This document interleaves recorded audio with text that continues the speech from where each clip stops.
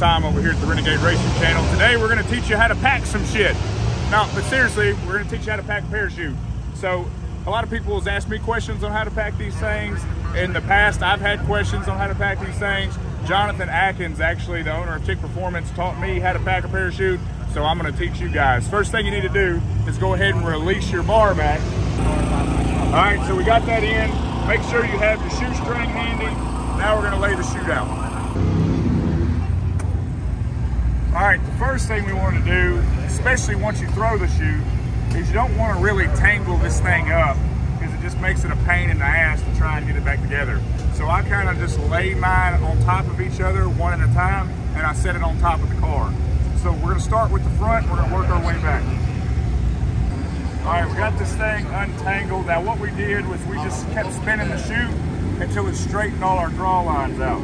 So we're gonna keep going with these make sure they're on top of each other and they're straight with the actual rope. Now that we've made that happen, we're gonna take our top two, we're gonna drop our bottom two and pull out just like so. Now I like to grab right here in the middle. All right. And we're gonna take that piece right there and we're gonna fold it. All right, see how we got that? Now look, if you look at the actual chute, look at the chute down at the bottom side, you see how it comes straight out, all four pieces are linked just like that. All right, now that we have it like that, everything's untangled, we're gonna make a fold right here. All right, and then kind of shake it a little bit, make sure everything's good. Now you're gonna find your other piece, and we're making a piece of pie right now. All right, and then we're gonna fold that. So now you should have three folds right here. And you wanna make sure it's even on all sides and even in the front. Once you got that done, we're gonna lay it on the ground and we got our piece of pie. Now you kind of wanna dress it up just a little bit, make sure everything looks good on it, on your piece of pie. So once we got that done, we're gonna go ahead and make our initial fold. All right, into one big sliver, and then we're gonna fold it again. All right. So, that part's done. Now you wanna zigzag as you go back in with it. So pay attention to this part of it. But that way when the parachute throws out, it all comes out in one piece and doesn't get tangled up. So what I like to do is I grab it right here, with my hand right here, and I fold over just like that. All right, then you're gonna do that again.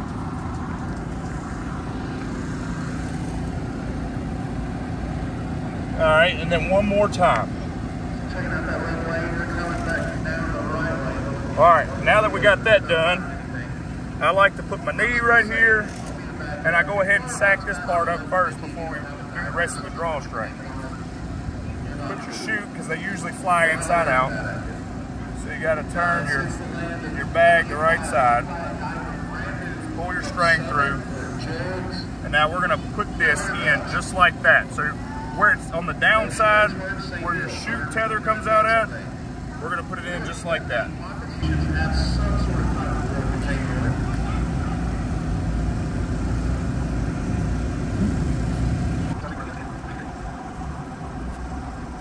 All right, now that we got the chute in the bag, go ahead drawstring and walk all the way up to the back of the car. Now that we're at the back of the car, we want to curl this inside the bag. That way when it throws out, all right, it just propels out. It doesn't allow the strings to get tangled, etc. So when I say curl this, you're just gonna curl it like a garden hose inside the bag.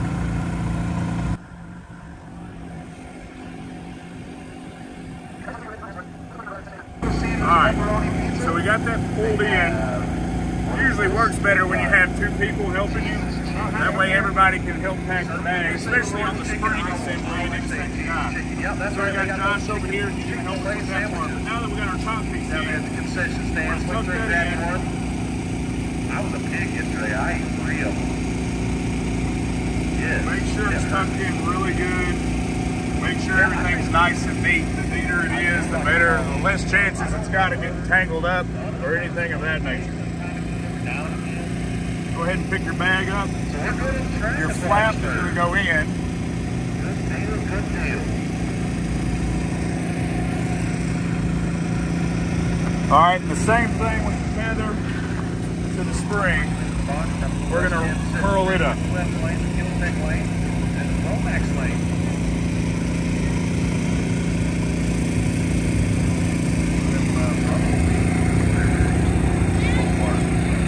See, I used to try to keep up with the red eye Hellcat. Two hands on the actual spring. Push it in and you got a hole. So take your shoelace, stick it through.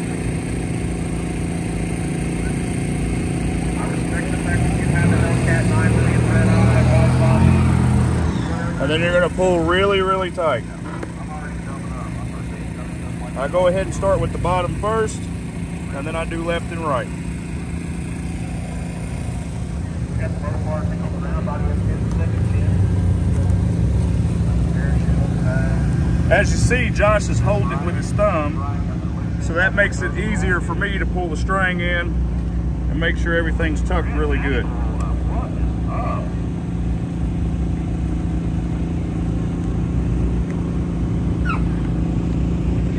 All right, once we got that done, just go ahead and pull your shoestring out. That's it. I also like to tuck my sides in, make sure everything's squared up once we get the chute packed in.